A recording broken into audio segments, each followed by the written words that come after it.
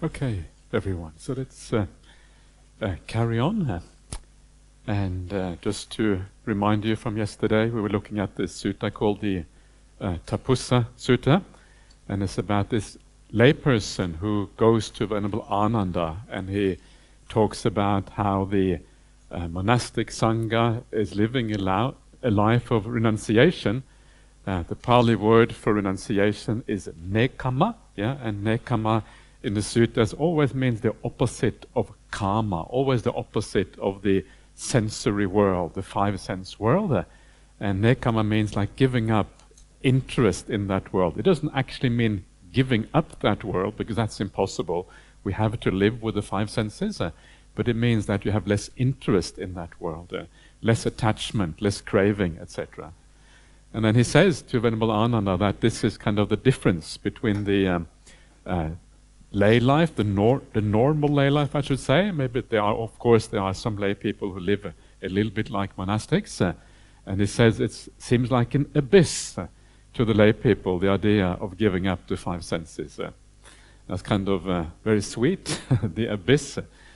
And uh, I just wanted to, so we're going to carry on talking a little bit more about the five senses and the world of sensual pleasures. Uh, but before I do that, I just want to remind you why we are doing this, because uh, I know that sometimes uh, people take this the wrong way, uh, and they think it means that there is no pleasure in life, we shouldn't enjoy ourselves, and all of these kind of things. Uh, and I want to make absolutely sure that you don't take it that way. It is okay to enjoy yourself in the world of the five senses.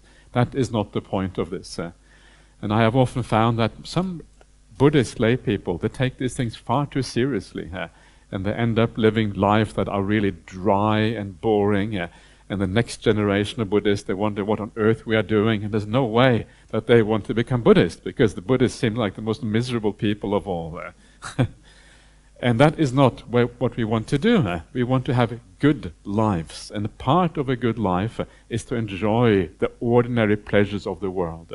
So please don't take it the wrong way. So, what is the purpose of this then? Well, the purpose of this is really just to let go a little bit of the attachment and craving and desires in that world. Enjoy that world, but with less attachment, less kind of powerful cravings, a little bit more bird's eye view, understanding the downsides of that world. Yeah, that is kind of the idea here. Just a little bit less attachment, a little bit more clarity about what is going on. Enjoy, but enjoy in a slightly different way.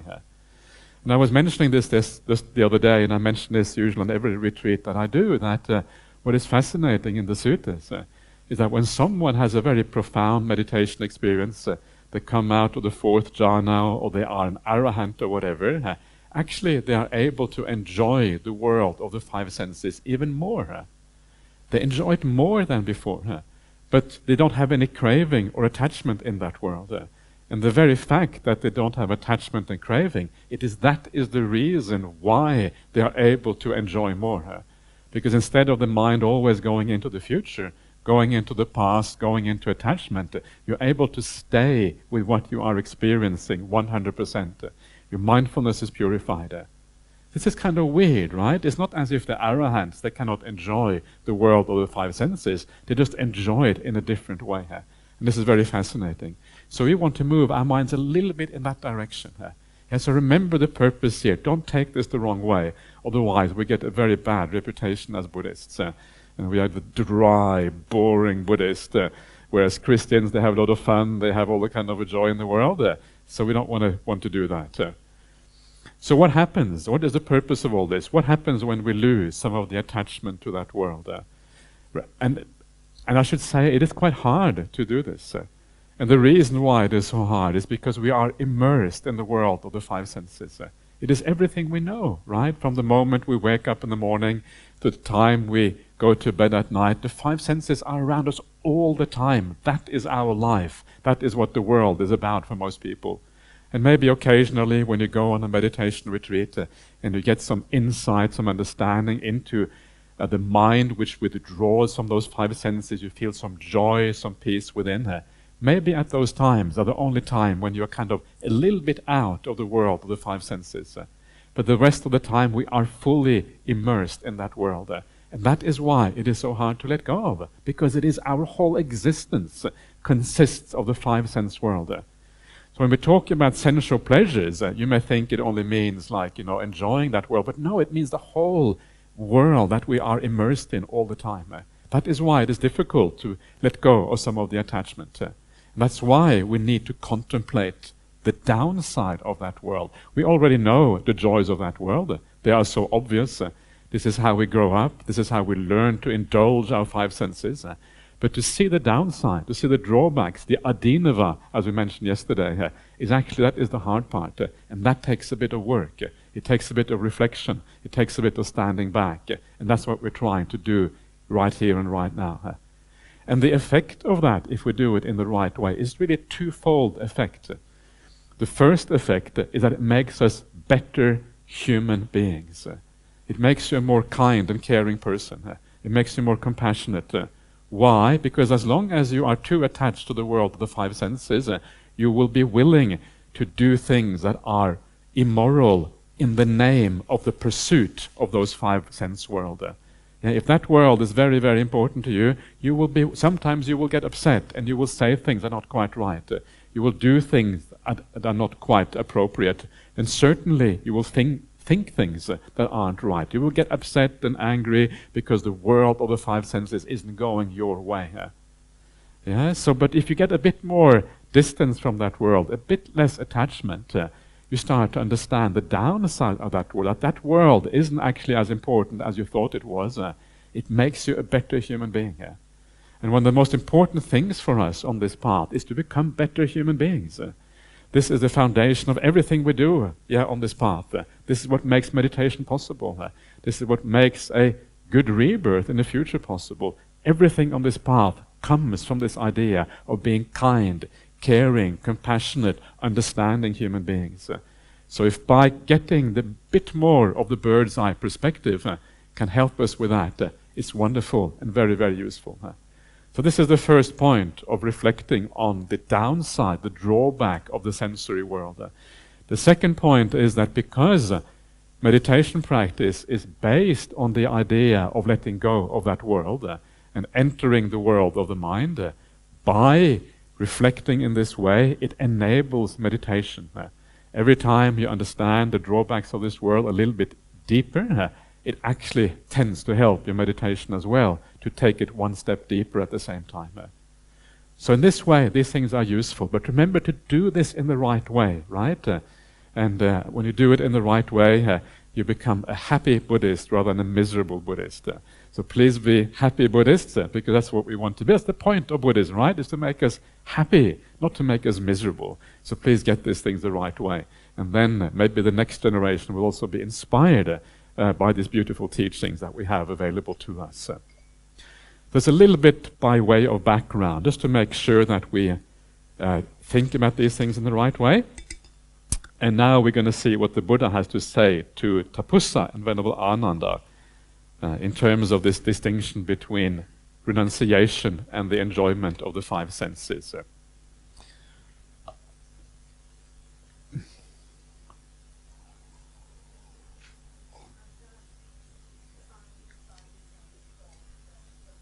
Okay.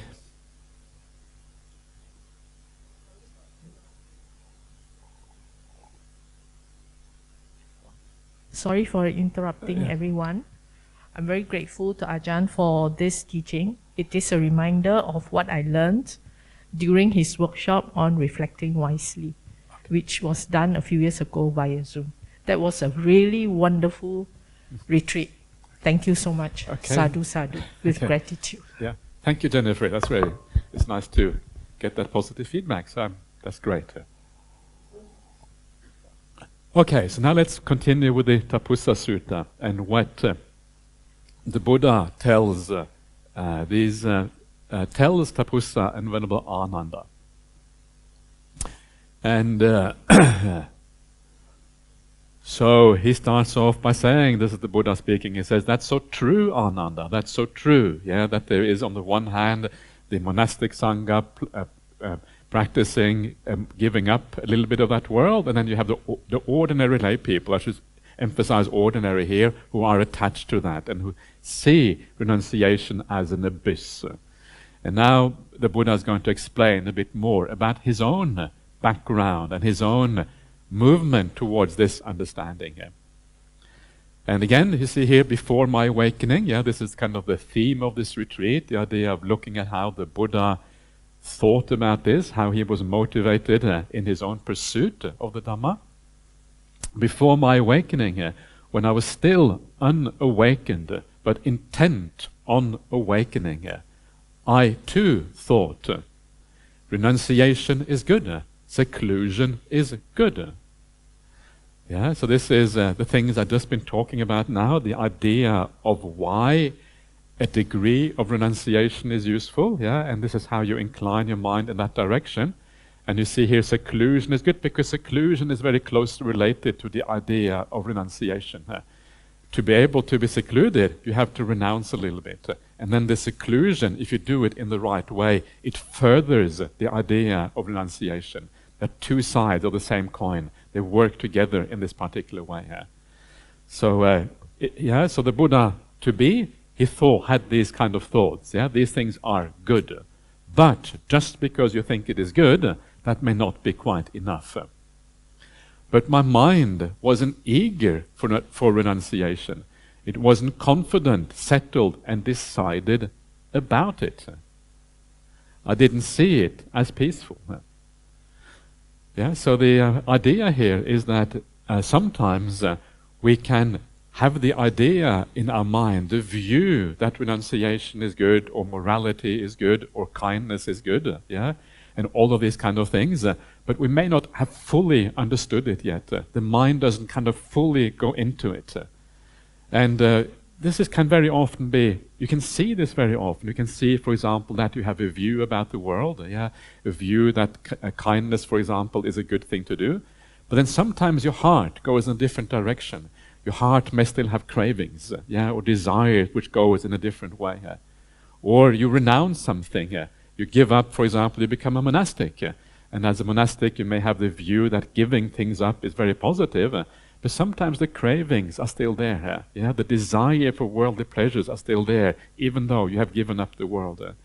and this is kind of like two things going in opposite directions. The view, the outlook going in one way, the craving going in a different way.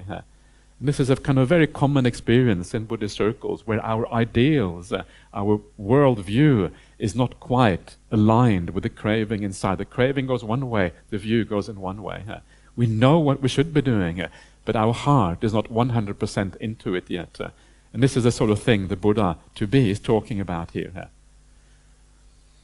I didn't see it as peaceful. Well, I think that translation is uncertain. It can also be translated as I did see it as peaceful. it can be translated as the exact opposite. Yeah, you can see the see the didn't down there. So this sentence either means I did see it as peaceful, or it means I didn't see it as peaceful. So um, which one is it? Well, um, I think the point is still the same. Yeah. So either he sees it sees it as peaceful uh, in view, but doesn't is not fully confident. Uh, yeah or he doesn't really see it as peaceful because he isn't confident about it. So they, it kind of still amounts to the same thing, I think. But I suspect that Bhante Sujato has got this wrong, and I think the proper translation actually is that I did see it as peaceful. Anyway, you know. So um, then, um, yeah. Yeah. Yeah. Let, let's, let's carry on. We'll come back to this in a second. Is that all right? Yeah, come back to the Q&A in a second. Yeah, that's, that's, that's, that's okay. I, I understand that you are eager. I, I, who isn't? Everyone is eager on these things. So, uh, but let's just hold on a little bit. then the Buddha says, Then I thought, uh, what is the cause? What is the reason why my mind isn't eager for, for renunciation? not confident and decided about it. Why don't I see it as peaceful? now? Yeah, what is going on here? How come? How come that even though I, I know these things are good, why, how come the mind isn't really confident about this, right? And now comes, of course, the important answer here. Then I thought, uh, I haven't seen the drawbacks of this five sense world. Yeah, it's um, here you have the kamesu over here. Kamesu is a plural word, and whenever kama is used in the plural, it refers to the five sense world. So I haven't seen the drawbacks of that five sense world, and so I haven't cultivated that. I haven't realized the benefits of renunciation, and so I haven't developed that.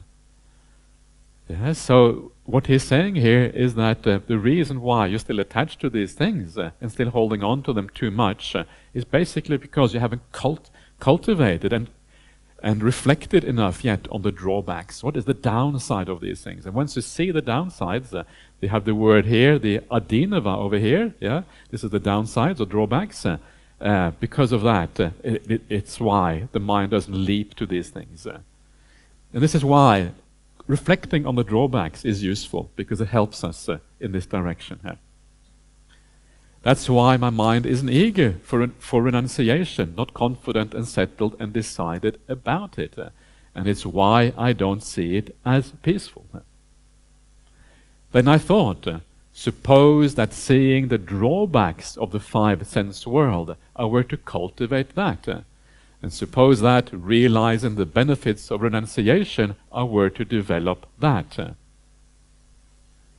Yeah, so these things go together, the giving up the five sense world, uh, and then understanding the benefit of the renunciation. These are two sides of the same coin. Uh, so cultivate both of those ideas. I'll come back in a second to how more to cultivate seeing the drawbacks. The next sutta is going to be all about the more about the drawbacks of that world. Uh, and of course, the uh, uh, the benefit of renunciation is precisely that you give up those drawbacks uh, of the five sense world and you reach something, a state of mind that doesn't have those drawbacks. Uh, that's kind of the whole point here. It's possible that my mind would be eager for renunciation. It would be confident, settled, and decided about it. and I would see it as peaceful. And so, after some time, I saw the drawbacks of sensual pleasures and I cultivated that. And I realized that the benefit of renunciation and I developed that.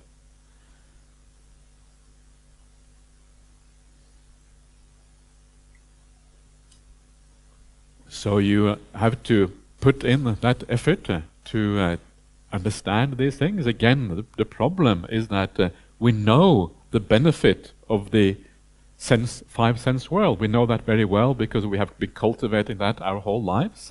That is what life is about for most people. The assada is the gratification and the pleasure of the five sense world. It is known to us. The downside is really the problem.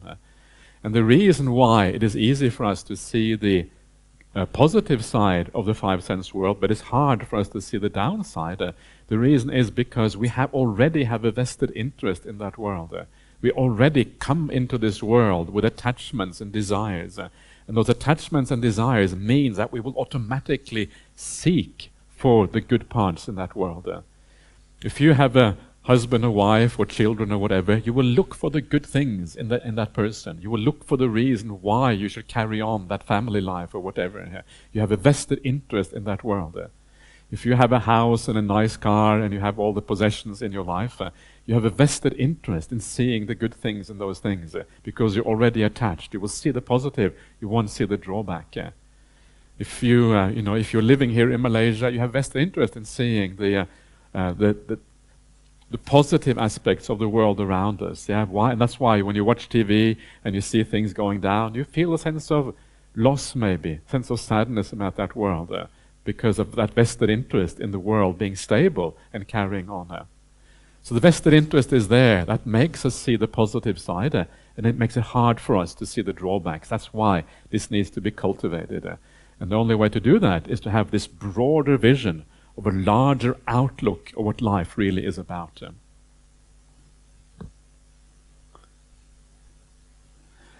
Then my mind was eager for renunciation it was confident, settled, and decided about it. I saw it as peaceful. And so, uh, quite secluded from sensual pleasures, uh, secluded from unskillful qualities, I entered and remained in the first absorption, the first jhana, which has the rapture and bliss born of seclusion while placing the mind and keeping it connected. Yeah, so this is the result of practicing that, uh, seeing the downside of the five sense world. Uh, the result of that is that it gives you access to the first jhana. The uh, biggest obstacle to achieving the four jhana states uh, and to achieving the profound samadhi on the Buddhist path is, as I mentioned before, this attachment and craving that we have for the five sense world. This is the big one. Uh. And that is why you can see right here this first jhana formula. It starts off here with this sentence, uh, quite secluded from sensual pleasures. Uh, yeah, and uh, sensual pleasures here uh, has is the word over here uh, in Pali, kamehi, and the ehi ending here is a plural ending. Uh, so again, when it's plural, it is a reference to the five sense world, not just to desire, but to the five sense world. So you could say, quite secluded from the five sense world. Uh, the only way you can enter a state where you are secluded from the five sense world, the only way you can do that uh, is by seeing the downside of the five sense world. Uh, if you are still attached to the five sense world, if you are still craving for it, there is no way you can enter a jhana because you have attachment. Attachment means you're holding on, but you have to let it go to enter the jhana, at least temporarily.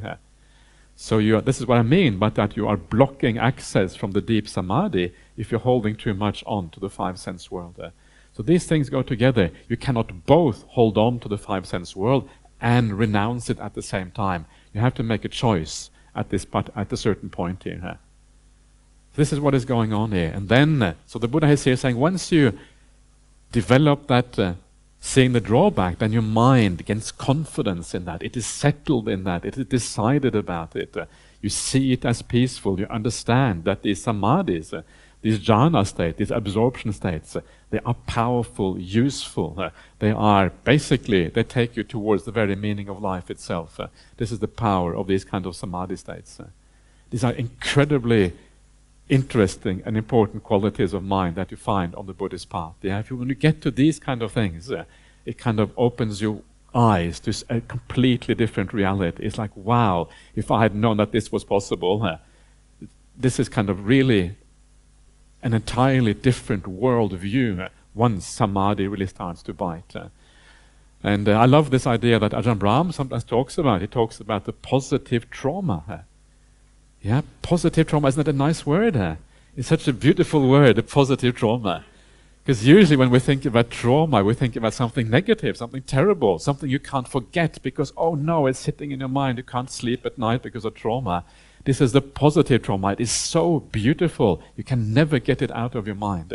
It will always be there because it is so close to the very idea of the meaning of life and what life is all about.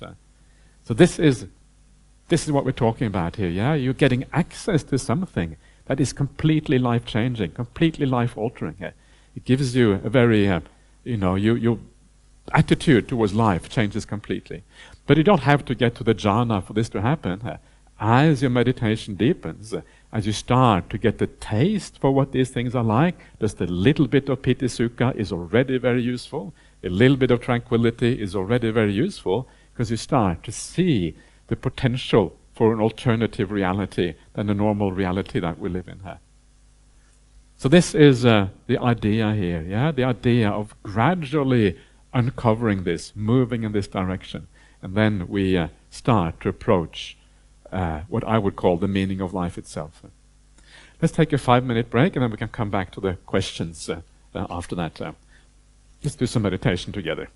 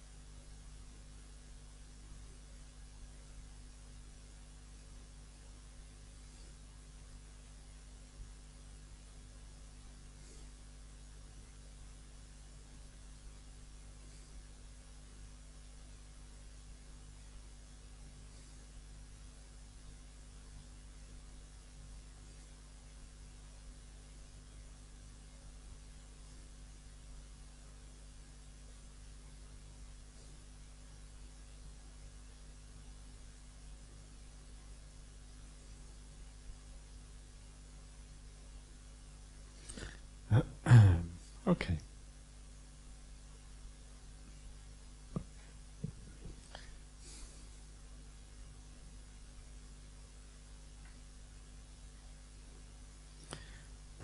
Okay, so uh, we can take a few questions. Would you like to? Uh, yeah.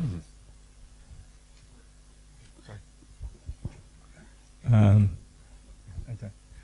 um, no, because going back to the earlier statement, I think um, to Yeah. me, uh, I think it is correct in the sense of the fact that I think in his Buddha's mind, he was having doubts. I think it was almost like a soliloquy, you know, he was talking to himself and say, "Oh, these are my doubts," you know, and then Yeah. uh, things. Then I realized actually it's not. It should be like that. So, so that statement where he said, uh,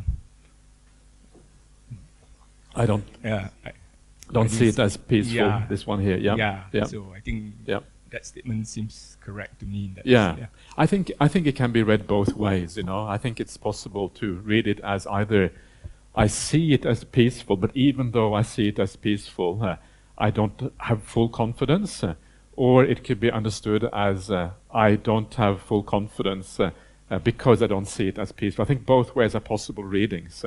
The reason why I think it is wrong is simply because of the Pali grammar. I'm looking at the Pali here, uh, and to me it looks like the Pali is the, the negation seems to be in front of. Uh, it's only each of these words are negated. Yeah, the word eager is negated. The word con- not confident is eager. The word sorry is negated. The word not settled is negated. Uh, not decided about. You can see the word little na here. The little word na here is the negation. It's in the front of each one of these words. Uh, and so it looks to me like the Pali is, is not um, supporting that translation. That's why I'm saying it, not because I, I think you're necessarily wrong in what you are suggesting here. What do you think, uh? Uh, yeah? Yeah?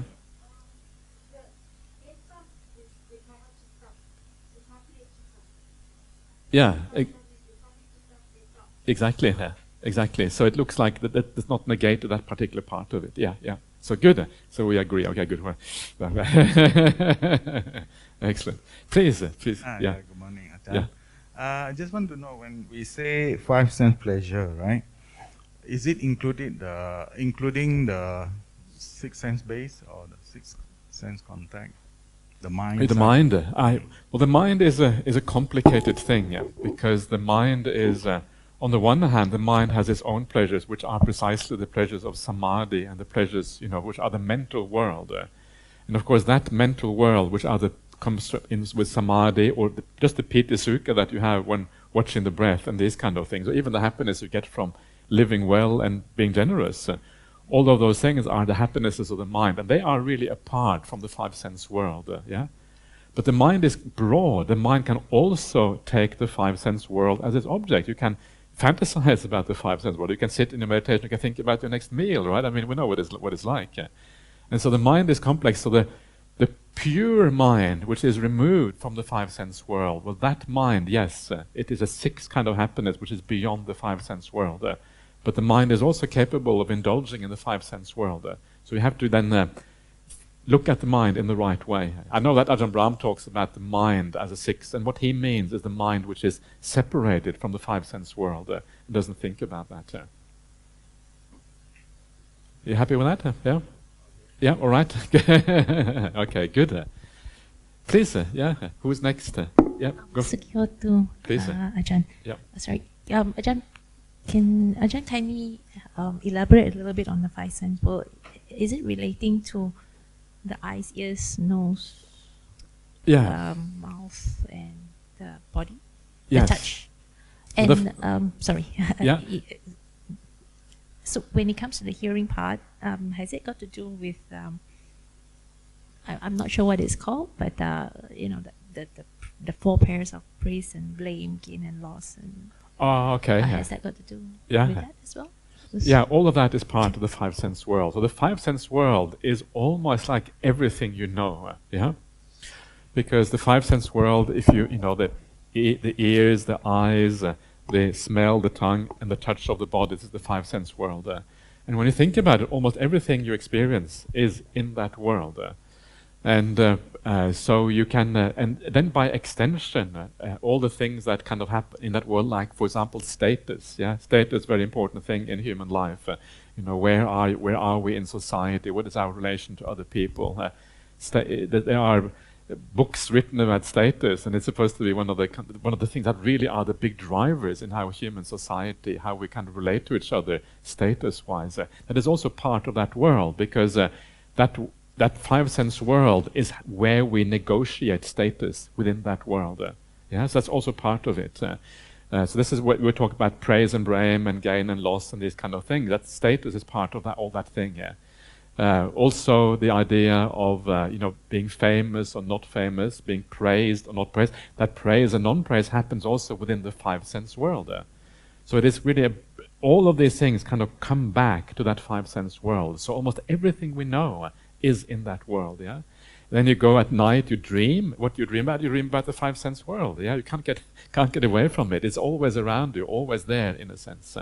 The only thing which is not the five sense world uh, are where the mind starts to find joy, the spiritual kind of joys. And the spiritual joys, they are the joys that come from, uh, you know, feeling good about yourself because you're living well. Uh, you have abandoned doing bad things. Uh, the joys that come from being generous. These are the two of the most important joys on the Buddhist path. Uh, you find these are called the Sila Nusati and the Chaga Nusati. There's specific names for these things in Buddhism. That's how important they are. Uh, the recollection of your generosity, the recollection of how you live well. Uh, this is where the spiritual world starts. Yeah, those kind of joys, uh, and then the peace, the tranquility that comes with that kind of happiness is also part of that world. Uh. So the moment you close your eyes and you start to move in that direction and you start to feel these kind of happinesses, that is where you're moving away from the five sense world. Everything else is the five sense world. It's incredibly broad. Uh, and it's almost everything we know. Uh. And then you can take that spiritual world deeper and deeper until the five senses are completely gone. Uh, and that's where you enter a pure spiritual world.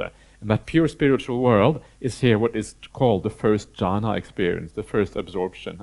That is where you go completely beyond the five senses uh, and you enter a different reality. And it's a completely different reality because you have never known before the world without the five senses. This is entering like something which is completely different uh, from what you have ever seen before. It's kind of weird and wonderful and uh, amazing for that reason. Uh. Are you happy with that? Uh? Yeah? Okay. Please, uh, yeah. Ajahn, morning. I have two questions. Um, number one is this, and so quite secluded from sensual pleasures, and secluded from unskillful qualities. Mm. So this, uh, could you please uh, elaborate on the unskillful qualities? Sure. And then my second question is this. Um, on this earlier part, uh, suppose that seeing the drawbacks of sensual pleasures, Yeah. I were to cultivate that. And suppose that realizing the benefits of renunciation, I were to develop that. Yeah. Um, and possible that my mind will be eager for renunciation and confident and settled. So in this aspect, after seeing the drawbacks, Yeah. and Buddha tried to cultivate that to discard the drawbacks of the sensual pleasures, is it? Yeah. And then also to cultivate, to develop the benefits of renunciation. Yeah. Does that also mean that trying to meditate, trying to practice loving kindness, or what is it? on- Uh, okay, so w- what it means is that you, it, it means an understanding of what can be achieved when you renounce. Yeah, it means knowing what can be achieved. So it means that you understand that by renouncing attachment and renouncing craving for those sensual pleasures, you get access to the jhanas. That's the benefit. uh, Yeah. And because you know the power of these jhana states, even if you don't get the jhana, even if you just get a little bit of meditation, you know that the importance of that, the happiness that comes from that, the tranquility that comes from that, is so important. It is so powerful uh, that that is the benefit of renunciation. uh. Yeah, those are the benefits. The spiritual happiness, the spiritual tranquility, is precisely the benefit of renunciation. It actually goes beyond that. It goes beyond even the achievement of these things because it also gives you access to insight, for example, because you are purifying the mind of the vested interest in that world. When you don't have craving and desire there, and when you take away the vested interest, that is when the mind becomes even. As long as you have vested interest in something, you can't see it properly. You don't have the upekkha. Upeka means to look on. That upekkha is really completely necessary to be able to see things clearly. As long as you're attached to that world, there's vested interest, and for that reason you can't see it neutrally. That neutral view is completely necessary to be able to gain insight. So all of these things are only available as a benefit of renunciation. Actually, I was uh, I was trying to ask is uh, what what does Buddha do to cultivate that uh, to the how to cultivate the kind of drawback? Like, is this mean that he's trying to discard the the essential, and Yeah. then to develop? What does he do to develop these um, benefits of uh, renunciation? This, this is what I'm saying now. This is what he's doing here. This is my answer. My answer is that he knows he already has some achievement in, in, in samadhi, right? He already has had some jhana experiences before, so he knows the benefits. So he just has to remind himself of those benefits. Uh, I know this. Yeah, why is this? And then he understands why is this important. Uh, why is it important to have the samadhi and the jhanas? Well, it is important because uh, it actually uh, I lose this vested interest in the world. I lose all of these things, and I get again access to insight. All this. So he reflects on that again and again to make sure he understands that, right?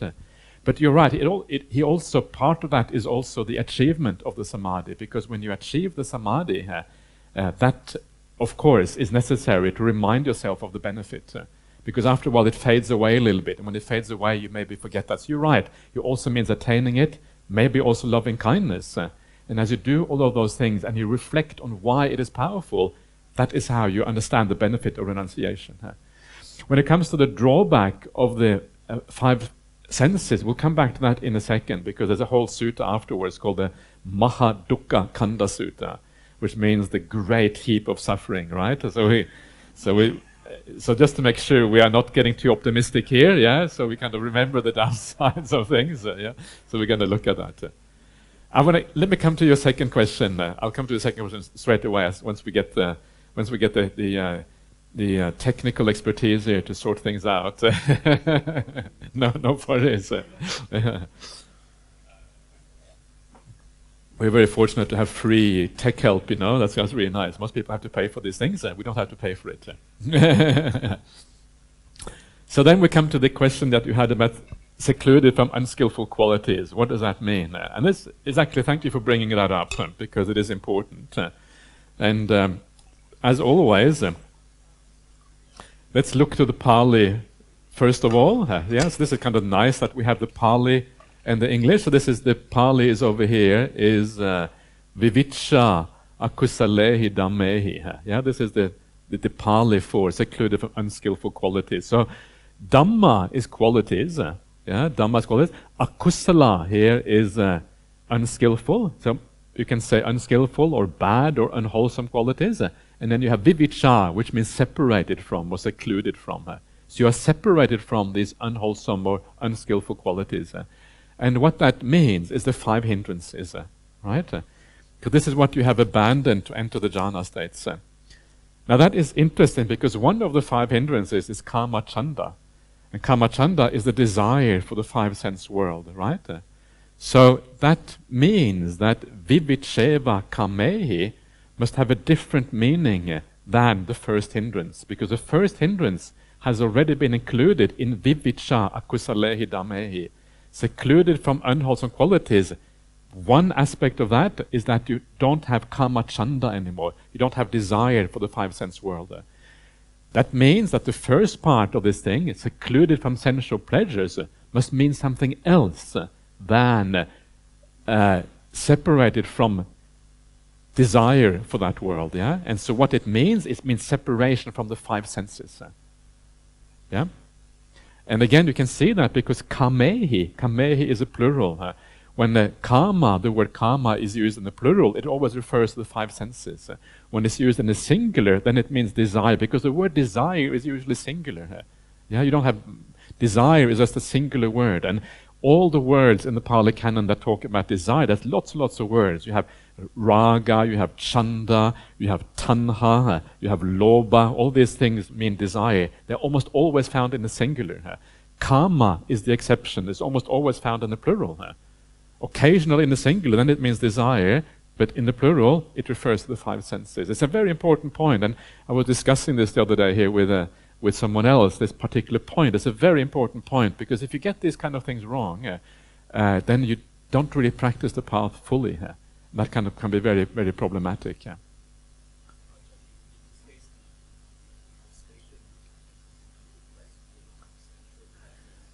Yeah, so it depends what you mean by sensual pleasures, right? Uh, but I would say that to really understand what is going on here, it actually means secluded from the five senses. Uh, yeah, and I, th- I, know that that's what uh, Bhante Sujato means by that. Uh, but he, but for consistency's sake, he, he uses the word uh, translation sensual pleasures. Uh, yeah.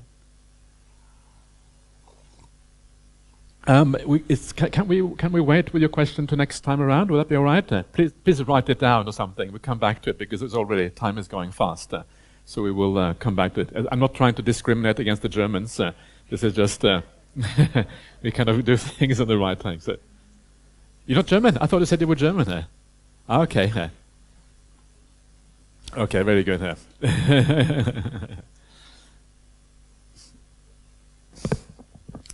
You speak you speak German, is that right? Okay. Okay, very good. All right, so let's uh, carry on a little bit. So this is then what we see here is the uh, uh, standard a description uh, of the first jhana, yeah, and this is kind of a very interesting description. I'm not going to go into it too much now because we are still kind of working on the early part of the path about right view and how that right view drives the path. So I'm not going to kind of uh, spend too much time on this particular thing here. So let's. Um, now I have, I have to go back to uh, the. Um, let me just go back here to see what was included, what I included in this. Uh, ah, okay, I have all the four jhanas in there. I'm not sure why I did that. That was probably a bad idea, actually. Uh, so, uh,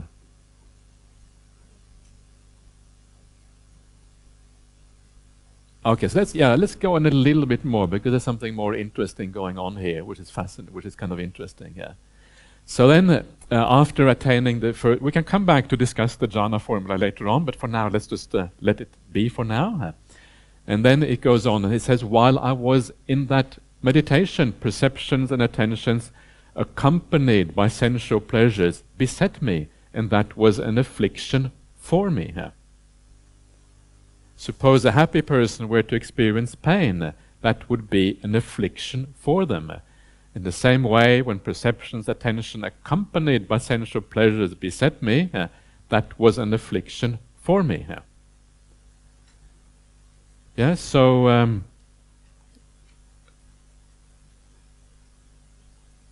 what is going on here? Uh? And one of the um, interesting things here, it looks like when you read this particular sentence, it looks like while you was in that meditation, in other words, while I was uh, doing the meditation, during the meditation itself, sensual pleasures arose. But actually, that is not really possible because you have to abandon the sensual pleasures prior to entering. So they cannot actually happen within the meditation. So the really the, uh, you know, sometimes it takes quite a bit of interpretation of the sutras and to see how words are used in many different contexts, uh, to see how things are.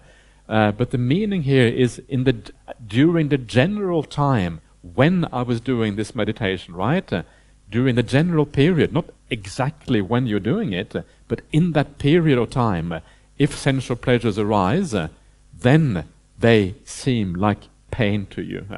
yeah, they seem problematic, and the reason, of course, is that the happiness of the of the jhana is so profound and is so peaceful and so quiet that when the sensual impact comes to you, the sensual pleasures arises in you. Actually, I'm probably getting this wrong, actually, yeah.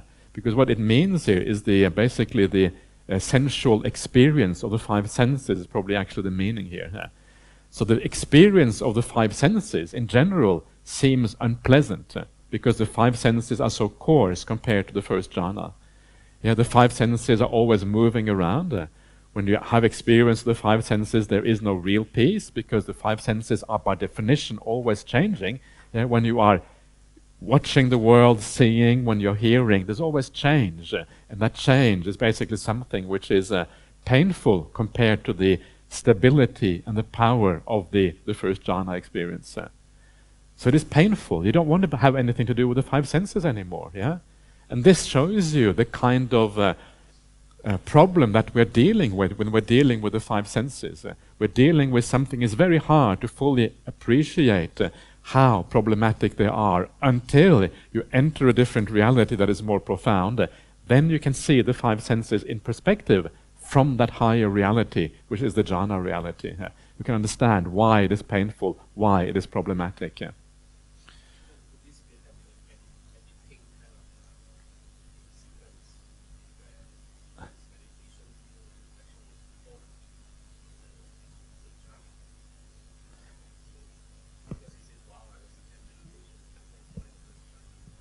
Yeah, it's, it's just that the, it's just a translate. It's just a Pali in, interpretation of the Pali. That's really what it is. You see here, and uh, what the Pali says, uh, while while I was dwelling, I mean the, the, the, way to the way to understand these kind of sentences, you have to see how it is used elsewhere in the sutras. Uh, only then can you really understand what these things mean, right? Uh, sometimes the meaning is not obvious and straightforward. So when you say, while I was living like that, does that mean while you were in the attainment, or does it mean in the general period when you were living and practicing like that? Uh, you see the difference? Uh, yeah? And uh, to be able to know whether one interpretation is correct and the other one is correct, uh, you have to see how this kind of phrasing, how this particular phrasing is used in the sutras. And this is what translation and interpretation is about. Uh, yeah, this is why it is complex, and this is why you have to actually read quite broadly sometimes to understand it. But I can show you passages in the sutras where the meaning of this is not actually during the attainment, but during the general period when I was practicing this attainment. It's a quite important difference. So, um, uh, but uh, regardless, the, I think the point is still the same. So, roughly the same point anyway. So it doesn't really matter all that much. So the point here is just that sensual pleasures or the world of the five senses uh, is an affliction, it is a pain compared to the first jhana. That is the main point. And this sometimes, if you haven't been there yourself, we have to take this on confidence from the Buddha, yeah, that this actually is true, or from other people who have these attainments. Uh, and that is no much choice really but to, uh, to do that until you get there yourself. Uh. That is kind of a neat little point for you. And then the Buddha, and of course, this is what is interesting about the Buddha, he doesn't stop there. Then he carries on, and then he looks at the first jhana experience, uh, and he sees the uh, kind of the downsides or the negative aspects of the first jhana, and then he goes on to the second jhana based on that. Uh, then he sees kind of the uh, the lower aspect of the second jhana, and this is kind of really hard to do because when you get to these jhana experiences, uh, you have basically found something that seems to almost anyone, this is the meaning of life. How can you see the downside of something that is pure bliss? Yeah, but this is what the Buddha does. This is what makes the Buddha the Buddha, is that he has this ability to really focus on any negative remaining aspect, yeah, and then kind of let go of that, and then go even deeper. And he goes, continues on this way until he reaches the full awakening experience. And this is the rest of this particular sutta right there. So, uh, yes, I'm going to drop all of that. I'm not going to go through it because it is just too much for now. Maybe we can come back to it later on once we have the um,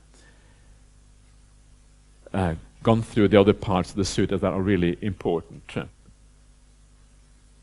So, um, now let's move on to the next sutta. And uh, please feel free to ask about this sutta afterwards if you wish, uh, and we can just come back to this other sutta afterwards. Uh. So now we're going to come to the um, what is called the Chulla Dukkha Kanda Sutta, the shorter discourse on the mass of suffering. so uh, hope you're ready for that. Uh. And if you're not ready, we're going to do it anyway. So. Um Okay. Um, so let's just uh, get started. And now we're going to look at the adinava, the downside of sensual pleasures. Uh, and this is what this sutta really is about. Uh, and uh, uh, it is kind of the longest exposition on the downside of sensual pleasures. And what you will find is that it is very straightforward. Uh, it is not a very complicated sutta, and it's very easy to understand what the Buddha is on about in these things. Uh, so it starts off like most suttas, uh, so I have heard, evang me sutang. At one time, the Buddha was staying in the land of the Sakyans, uh, near Kapilavatthu, in the banyan tree monastery. So he's staying with his relatives, right? The Sakyans, uh, and Kapilavatthu, of course, being the uh, main city or the main town. It's all very small scale in those days. The main town of the Sakyans uh, in the Nigrodharama. Nigrodharama is the banyan tree monastery. Yeah, arama has this nice double meaning in Pali. It, on the one hand, it means like a park. Yeah, and this is the aramas were things that the kings of the day would have. Uh, um, and uh, they would then often give those aramas to the Sangha because uh, they would be useful places for the Sangha to establish monasteries and build up monasteries. Uh, they mean both a park and they also mean a monastery. here.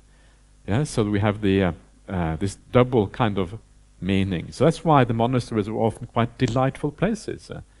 and one of the kind of the nice things that comes from that is to remind us that the Buddhist path is always about the middle way here when the Buddha and the monastics practice, they often choose beautiful places to practice. Uh, if you remember the uh, the discourse that we did before, the Noble Search Sutta, uh, well, in the Noble Search, the Buddha uh, to be, he goes through all the ascetic practices, uh, and then he thinks, is there an alternative way to awakening? Right? And that's when he remembers the jhana experience that he had as a child and all of that. Uh, and then he goes to a nice place to meditate, a place with uh, close to the river because the river is a place you can bathe, maybe a place you get water from, a, a delightful grove. You can imagine a grove in a forest which maybe has is open, nice shading trees. Maybe there's some mango trees there where the mangoes kind of drop into your hands, right? And when they're ni- nice and ripe, uh, I, I don't know. And there's a village nearby for alms. Uh, and, and this kind of signifies the idea that the Buddha to be has discovered the middle way. It is secluded from society, but it is a beautiful place in the forest. And in the same way, the monks usually live in monasteries. They are usually quite nice places, the monasteries. They're not too harsh. It is not about ascetic practices. It is about the middle way. You are secluded from the city, but your natural environment is actually quite delightful. This is the idea of an arama. It's a park and also a monastery at the same time. Signifies the idea of the middle way. Not, uh, and that's when you practice the middle way, that is when the body, the senses, all of that disappears.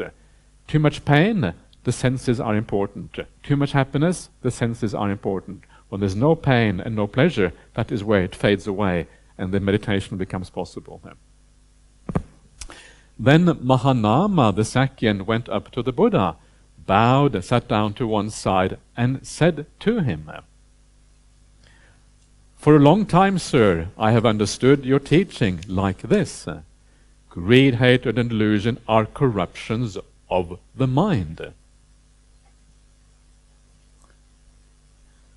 Um, let me just stop there very briefly and just. Uh, Mahanama II, Mahanama was a, a, cousin of the Buddha. Mahanama was the brother of Anuruddha.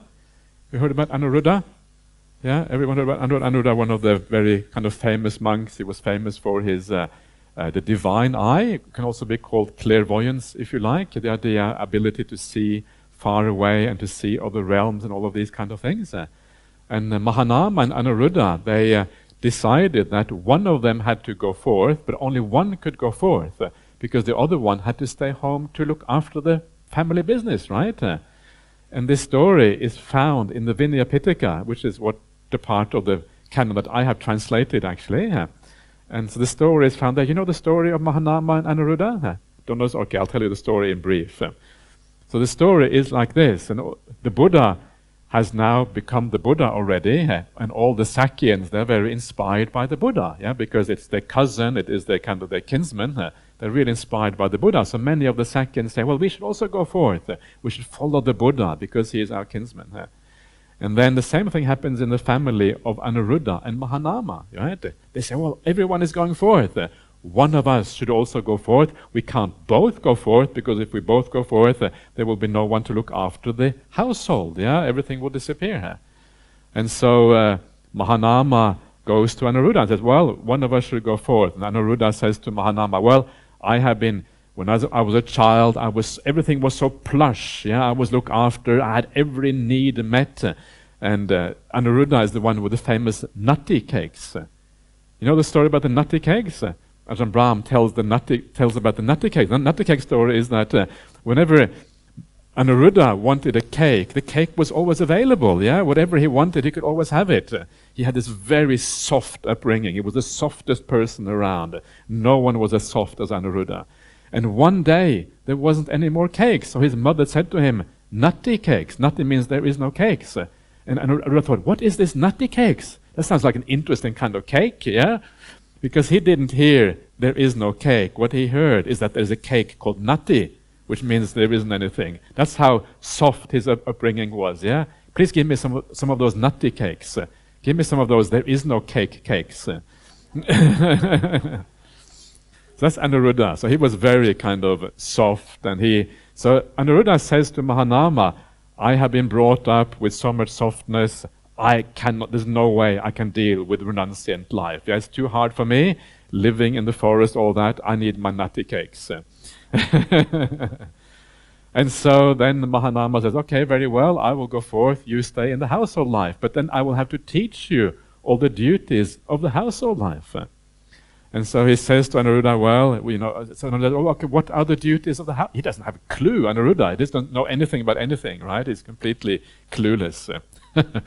So what are the duties? Well, the duties are that when the kind of the sow, when the season comes uh, to plant, kind of to kind of put to to cultivate the fields, uh, then you have to go out and you have to plow the fields. Uh, after plowing the fields, you have to put the seeds uh, into the fields. Uh, after putting the seeds in, you have to water the fields. Uh, when you have watered the fields, then you have to uh, uh, drain the water. You have to let the water come in, then you have to drain the water. Then you have to weed the fields to get all the weeds out. Uh, when you have weeded the fields and all the crop has come out, then you have to reap and harvest the crops. Uh, once you have harvested the crops, you have to uh, kind of thrash it to get the grain out of the stems. Uh, when you have put that, you have to put it into storage, right? Uh, and when it's in the storage, you have to guard it in storage. Uh, and then uh, when they finally get to the end of that and it finally is stored, then the next season begins and it starts all from scratch again. and then Anuruddha says, But when does it all stop? When does it come to an end? And Mahanama said, It never comes to an end. While they were plowing their fields, our fathers and our grandfathers died while they were still plowing the fields. Yeah? And at this point, Anuruddha says, Okay, you stay in the home life. I will go forth. this is a story, right? It's a very sweet kind of story. Yeah. But Anuruddha, he was too soft. He couldn't deal with the home life, so he decided to go forth after all. Uh, so, uh,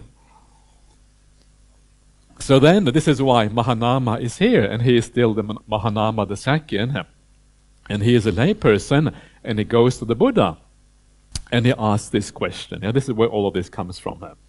So um, then he says, For a long time, sir, I have understood your teachings like this. Yeah?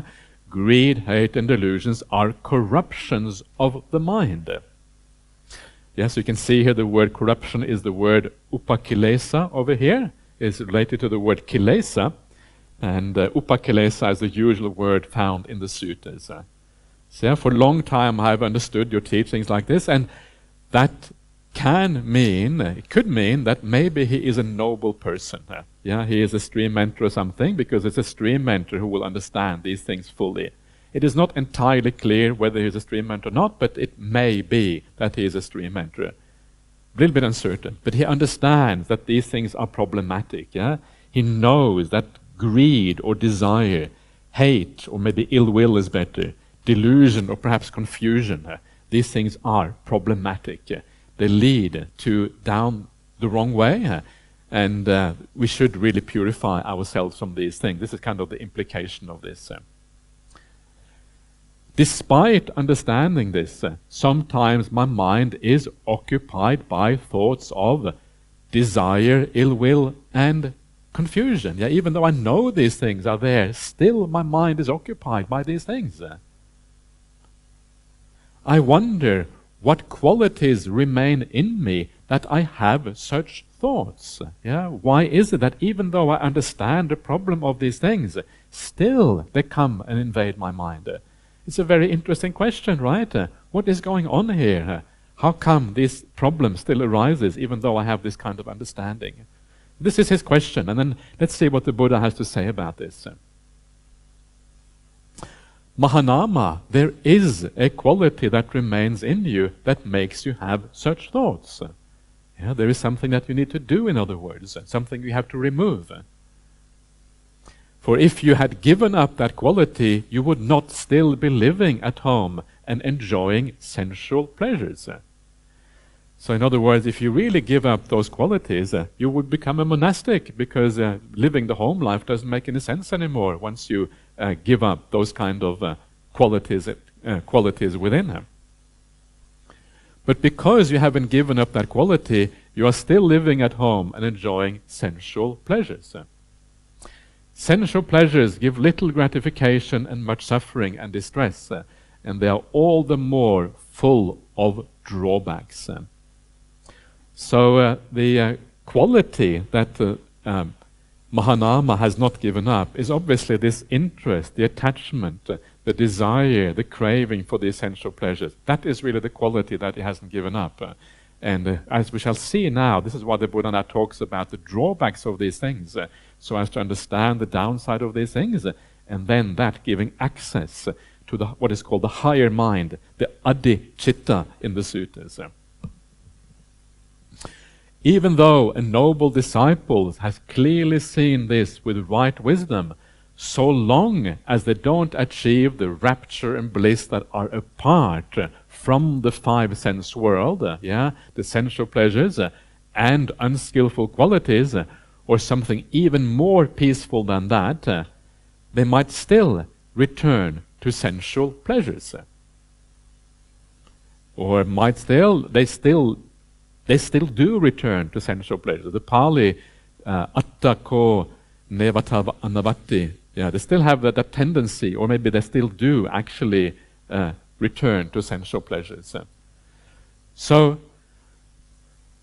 what we are, what he, the Buddha is saying here, that even if you are a noble disciple, yeah, even if you are a stream enterer, even if you have actually understood these teachings properly and fully through your own insight, uh, unless you have access to those happinesses that are beyond the sensory world, uh, the mind will tend to incline back to sensual pleasures again, and uh, uh, enjoying the five sense world as a consequence. Uh, yeah, and this is because we want happiness. Everyone wants happiness, and if you can't have the higher happinesses, then you will be satisfied with the lower happinesses. And the Buddha says in many places in the suttas uh, that uh, for ordinary people, unless if you don't have that deeper insight into the nature of things, uh, your mind will always look for the five sense world, look there for happiness, uh, because you haven't got access to the higher happiness. That is what that is about. Yeah? So you either enjoy the five sense world or you enjoy the higher happinesses. uh. yeah, you, you, you have to find happiness somewhere. This is what this means. uh.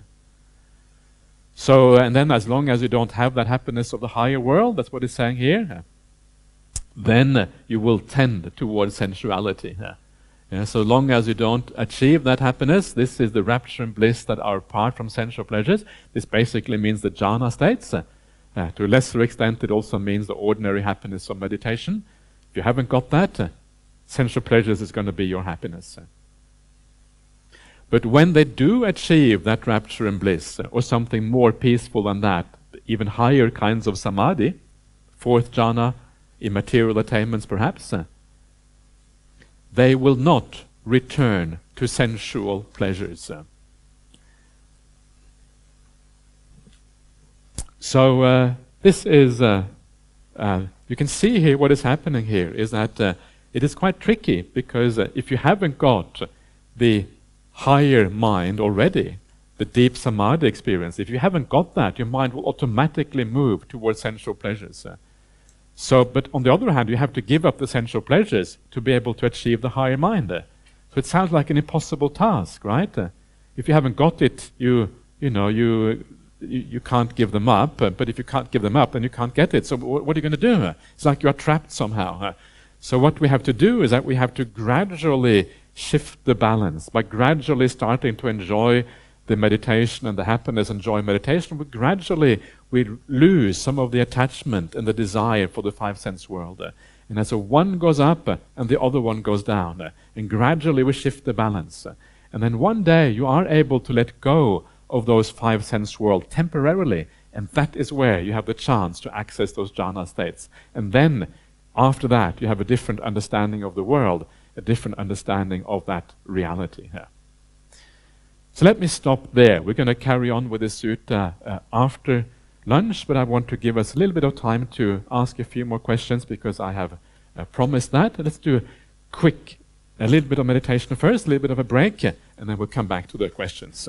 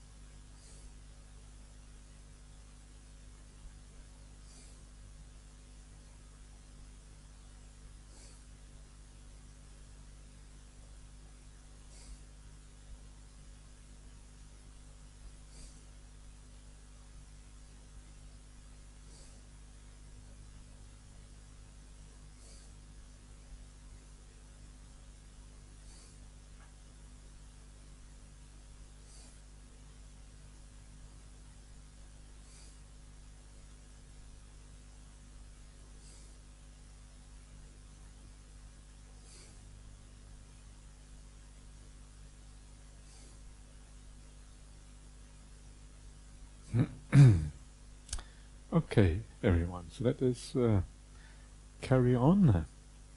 So, uh, would you like to ask your question now? Yeah, please, fire away. Do you, do you mind if I ask you where you are from?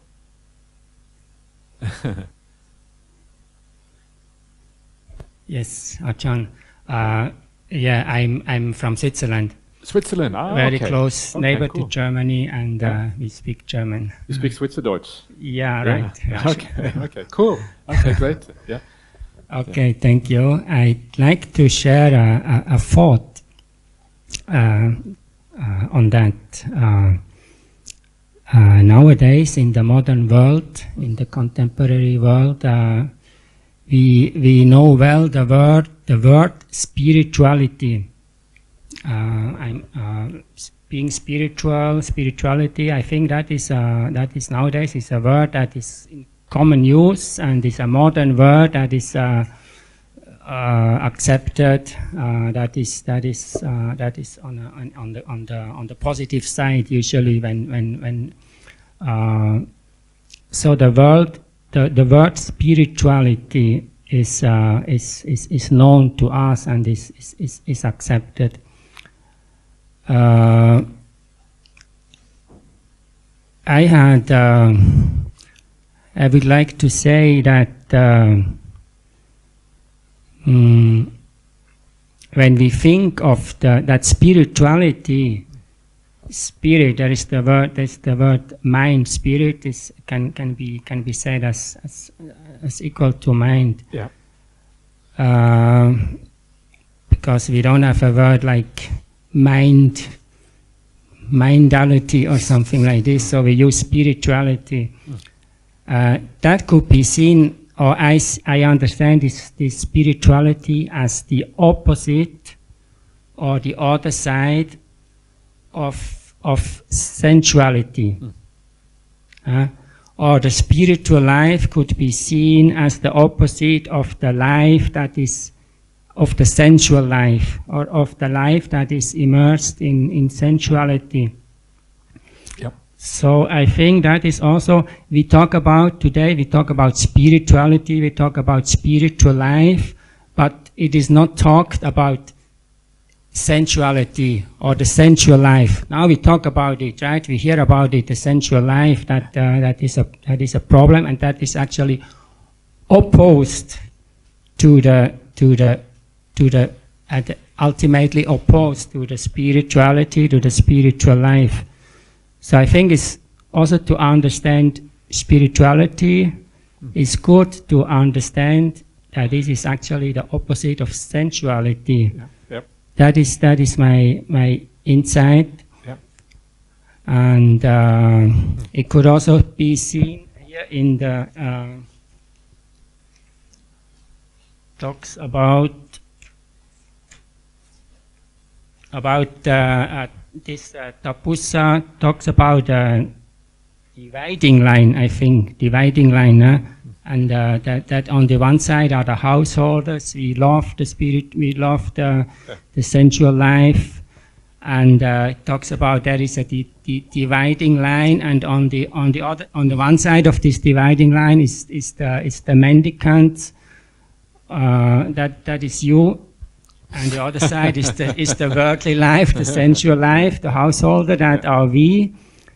Uh, but we could also put it in a way on the on the on the one side of the dividing line is the sensuality. Yeah. On the other side of that line is the spirituality. Yeah, yeah, so that is my sharing. Thank you. Thank you. No, thank you for that point. And I, I think it is. Uh, I, I think it is an important point. And I, the first thing I would like to say to that, just as a kind of a little bit of a response to what you're saying, is that uh, the word spirituality is used in Buddhism. Uh, I would completely, I would agree with your general idea that that's how we should use it in the Buddhist teachings. Uh, but there are many people in the world who use spirituality in a, in a, in a way which is much more, uh, even includes sensuality in the world. Yeah, and that, that to me is very problematic and it doesn't really work. And you see that in some of the modern religions where people mix up the sensual world and the spirituality and make it into a, a big soup that actually is very, uh, very problematic. Uh, but, uh, but more importantly, I, I, I want to come back to your point about this distinction between the lay people and monastic, because such a distinction doesn't really exist in quite the way we see in that sutta. The reality, of course, is, as you say, the distinction really is between the people who cultivate the mind and the people who cultivate sensuality. And you find a broad range of differences within monastics, uh, also within lay people. There isn't any separation. The monastics are here, the lay people are there. A lot of monastics are not cultivating the mind properly. Yeah, we see this in the world. They're not really interested in meditation practice, uh, and they're more interested in status and climbing the hierarchy of the monastic order. Yeah, than uh, these kind of things. Uh, on the other hand, you find some lay people who are beautiful people, incredibly spiritual, people who are more monastic than the monastics are. Yeah, I, I mean, I know lay people who are extraordinarily practitioners of this path, uh, and many of you here too are very impressive as as lay people. Uh. So I think that is a very important point because otherwise it sounds like we are elevating the monastics in kind of the wrong way and maybe you know, talking about the lay people in wrong, but actually understanding that within both of these groups, there's a large, large variety.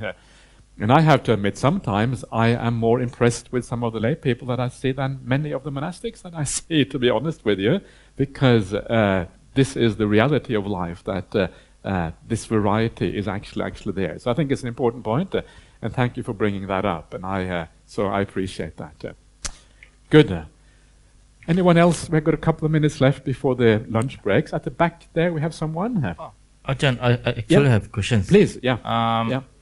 um, if I understand correctly from this sutta, is that uh, Yeah. the Arya Savaka, the noble disciple, Yeah. have problems um, achieving jhana. So if that is the case for someone with right view, how I, I think it, it will be much harder for puthujjana who has wrong view, isn't it? Mm.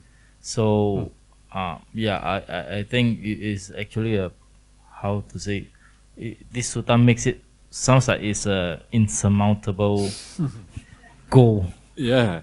Well, it, it, it- it is not insurmountable. It is just that it takes it takes dedication, commitment, and perseverance to do it. uh.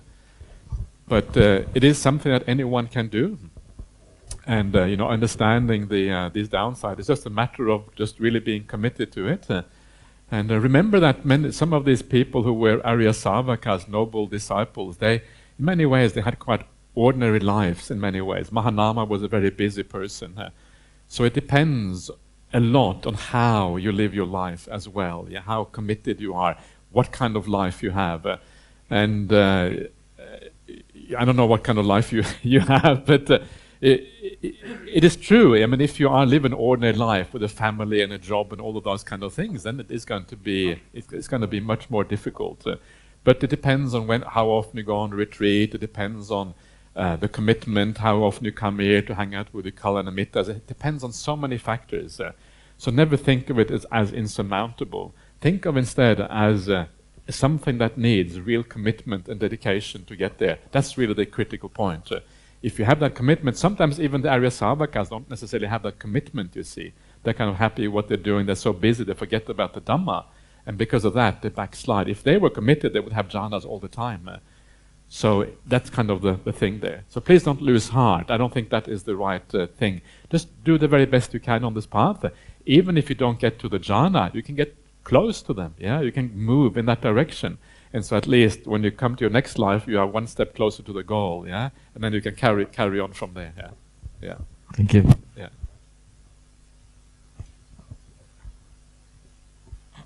Over here, uh, Ang, just uh, in the front front bench over here. Yeah.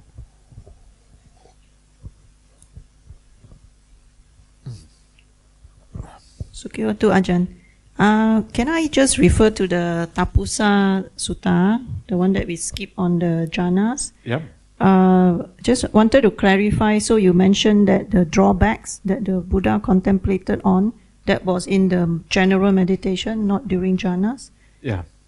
Okay. It's just generally, you know, if, when he's because you contemplate those drawbacks when you're outside of the jhana state, and then you, yeah, yeah. Okay. Can can you please uh, clarify? I mean, like explain about the drawbacks in in um, your f- future talks uh, on the jhanas when you when you come back to the jhanas. Oh, oh, co- The drawbacks. Talk about the drawbacks of the jhanas. Uh, Yeah, the, the ones that the Buddha contemplated on that's mentioned in the Okay, I. To be honest with you, I wouldn't be too concerned about that uh, because uh, it is almost impossible to really understand until you get clo- very close to those jhanas. Because uh, when you have the greatest bliss you ever experienced in your life, uh, and then you have to contemplate the drawback, it is not. It is. It is very hard to do. Right? It's very difficult. Uh, if you are able to contemplate the drawback of sensual pleasure, that is difficult enough. uh, but that is easy compared to contemplating the drawback of the jhana. That is really, really hard uh, uh, because it is so incredibly blissful. uh. So do one step at a time. Uh, If you start contemplating the drawback of the jhanas, you're going to lose your way because it's not going to be. Uh, it's just too far ahead, if you know. Uh, unless your samadhi is incredibly good. If you have very good samadhi already, then we can talk about the jhanas. But uh, I would recommend most people to wait. And uh, when you get closer to the jhana states, uh, then you can go to someone who is a very skilled meditator with those things and maybe ask in private, uh, uh, you know, I'm here. What you know? What is the next step? And then you may hear, well, actually, you know, these aspects of the first jhana are problematic. So let that go. Then you go to the second jhana, etc. Yeah, that's what I would recommend. Uh, yeah. Thank you, Ajahn.